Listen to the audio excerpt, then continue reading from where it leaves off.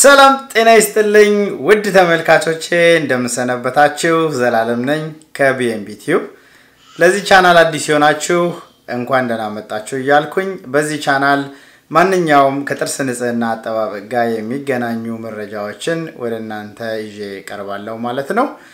እነዚህ መረጃዎች በቀላሉ እንዲደርሷችሁ subscribe ያላረጋችሁ subscribe በማድረግ የዚህ ቻናል ቤተሰብ እንድትሆኑ እየጋበዝኩኝ ለዛሬ ይዤላችሁ ወደ ቀረብኩትኝ ፕሮግራም አልፋለሁ። ለዛሬ ይዤላችሁ የቀረብኩትኝ ፕሮግራም እንግዲህ ጥርሳችንን ሊጎዱ የሚችሉ መጥፎ ልማዶች የሚል ይሆናል።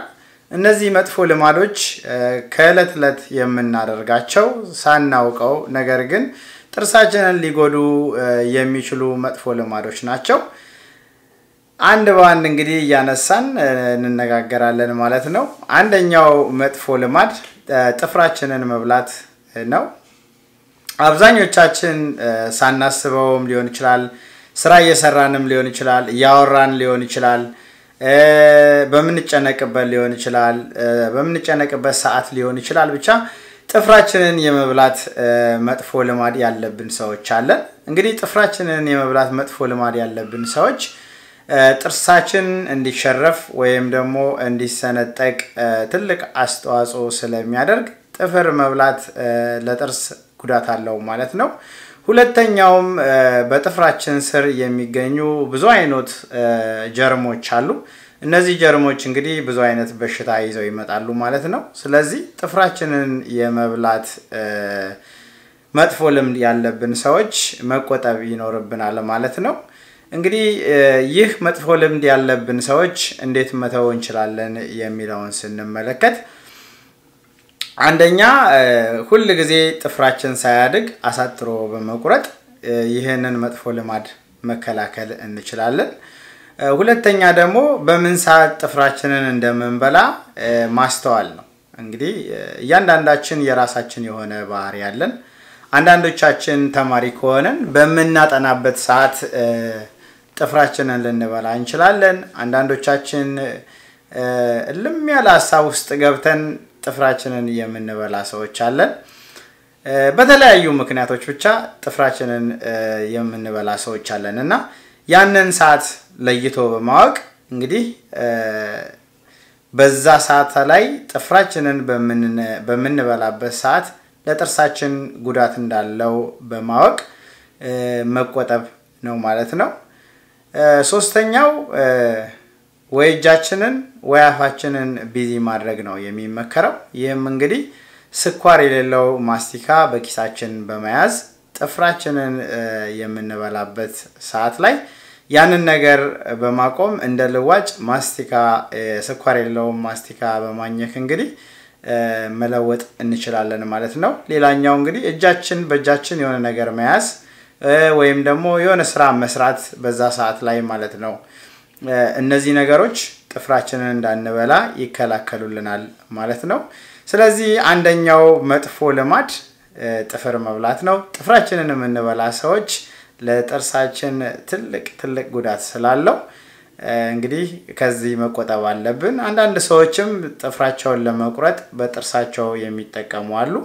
ይህም ትልቅ ጉዳት አለው። ምክንያቱም በዛሬው እንግዲህ ዘመን ብዙ የጥፍር መቁረጫዎች በየቦታው አሉ፣ መግዛት እንችላለን።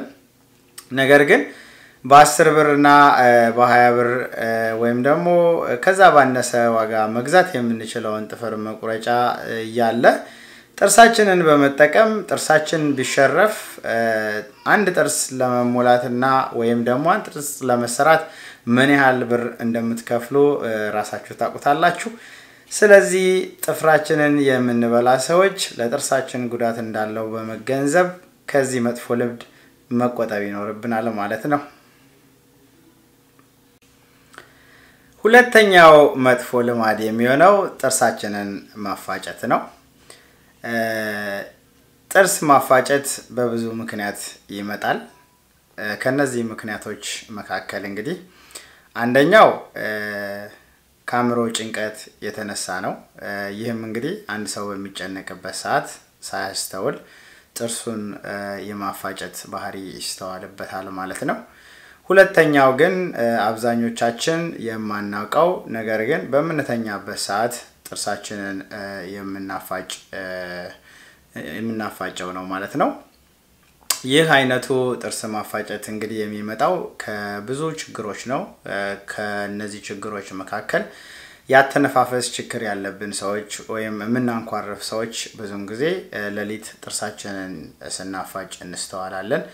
ነገር ግን ሰው ካልነገረን ወይም ደግሞ ከዚህ የጥርስ ማፋጨት የሚመጡ ምልክቶችን ካላየን በስተቀር ጥርሳችንን እንደምናፋጭ በፍጹም ላናውቅ እንችላለን። ወይም ደግሞ በአካባቢያችን ወደሚገኘው የጥርስ ሕክምና ቦታ ስንሄድ የሚያየን ዶክተር ከሚያየው ምልክቶች ተነስቶ ጥርሳችንን እንደምናፋጭ ሊነግረን ይችላል ማለት ነው። በዚህ አጋጣሚ እንግዲህ ጥርሳችሁን የምታፋጩ ነገር ግን እንደምታፋጩ የማታውቁ ሰዎች ካላችሁ የተወሰኑ ምልክቶች አሉ። እነዚህ ምልክቶች በማየት ብቻ ራሳችሁን መመርመር ትችላላችሁ ማለት ነው። ከእነዚህ ምልክቶች መካከል አንደኛው ጠዋት ጠዋት ስንነሳ የራስ ምታት የሚያምን ከሆነ ይህ አንደኛው ምልክት ነው። ሁለተኛው የአጥንታችን ጥርሳችንን የሚይዘው አጥንታችን መገጣጠሚያ እዚህ ጆሮዋችን አካባቢ ማለት ነው። ጠዋት ጠዋት ስንነሳ የህመም ስሜት ጆሮአችን አካባቢ የአጥንታችን መገጣጠሚያ ላይ ማለት ነው የሚያመን ከሆነ ይህም አንደኛው ምልክት ነው ማለት ነው። ሌላኛውና ዋነኛው ጥርሳችን እየተሸራረፈ ካስቸገረን እንዲሁም ጥርሳችንን በመስታወት በምናይበት ሰዓት የምናኝክበት የላይኛው part flat ከሆነ እና የተሞረደ የሚመስል ከሆነ ሌሊት ሌሊት ጥርሳችንን እናፋጫለን ማለት ነው። እንግዲህ በዚህም ምክንያት ቲኤምጄ የሚባል በሽታ አለ። ይህም በዚህ በአጥንታችን መገጣጠሚያ አካባቢ የሚመጣ በሽታ ነው። አፋችንን በምንከፍትና በምንዘጋበት ሰዓት ድምፅ ያመጣል ማለት ነው። ቋ የሚል ድምፅ ማምጣት ይጀምራል። እነዚህ እነዚህ ምልክቶች የምታዩ ካላችሁ እንግዲህ ወደ ጥርስ ሐኪም ቤት በመሄድ ይህንን ለመከላከል የሚሰራ ዲቫይስ መከላከያ አለ ማለት ነው። ይህም ጥርሳችን ላይ የምናደርገው ስንተኛ ስንተኛ ጥርሳችን እንዳይገናኝ አፋችንን ከፍቶ የሚያስቀር አለ ማለት ነው የሚሰራ ይህንን በማሰራት ጥርሳችንን እንዳናፋጭና ጥርሳችንን እንዳንጎዳው መከላከል እንችላለን ማለት ነው። ሌላኛው ደግሞ ወደ ሕክምና ቦታ መሄድ የማንችል ነገር ግን ይህ ችግር እንዳለብን የምናውቅ ሰዎች ካለን በአካባቢያችን ወደሚገኙ ስቶሮች በመሄድ እንግዲህ ዩኒቨርሳል የሆነ ይሁ ጥርስ ላይ የሚደረግ ስፖርተኞች የሚጠቀሙት አይነት ነው። አይታችሁ ከሆነ ስፖርተኞች የአሜሪካ ፉትቦል እንደዚህ ግጭት ያለበት ጨዋታ ላይ ካፋቸው ውስጥ ሲያወጡት የምታዩት ይህ አይነት device ጥርሳቸውን ለመከላከል ነው፣ ግጭት እንኳን ቢኖር። ነገር ግን ይህው አይነት መከላከያ በማንኛውም store በብዛት እንግዲህ በእርግጠኝነት በካናዳ እና በአሜሪካ ውስጥ በማንኛውም store ይህንን device ማግኘት ይቻላል። universal ነው፣ ለሁሉም ሰው የሚሆን ነው። ምቾት ላይኖረው ይችላል፣ ነገር ግን በጣም ርካሽ ነው። እሱን በመጠቀም ልዩነት ካለው ማየት እንችላለን ማለት ነው። በተለይ በተለይ የምናንኳርፍ ሰዎች እሱን በመጠቀም ኩርፊያችንን ማንኮራፋታችንን ሊቀንስልን ይችላል። ይህ ማንኮራፋት የሚመጣው እንግዲህ ከብዙ ችግር ነው። አንደኛውና ዋነኛው ስሊፕ አፕኒያ የሚባል በምንተኛበት ሰዓት ያተነፋፈስ ችግር ሲመጣ ነው የምናንኳርፈው ማለት ነው።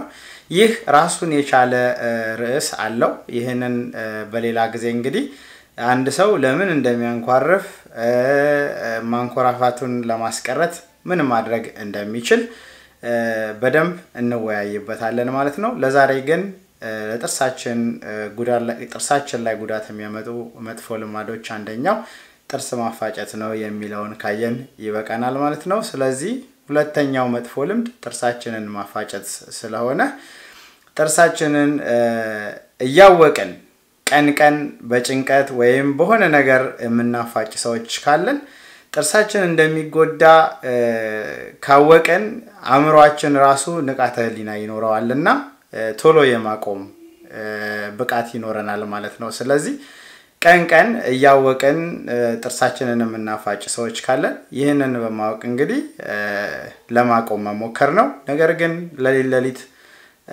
ይህ ችግር ያለብን ሰዎች አንደኛ ወደ ሕክምና ቦታ በመሄድ መፍትሄ ማግኘት ነው። ሁለተኛ ሕክምና ቦታ መሄድ የማንችል ከሆነ በአካባቢያችን የሚገኙ ስቶሮች በመሄድ እነዚህ አፋችን ውስጥ የምናደርጋቸውን መከላከያ በመግዛት እንግዲህ መጠቀም እንችላለን ማለት ነው።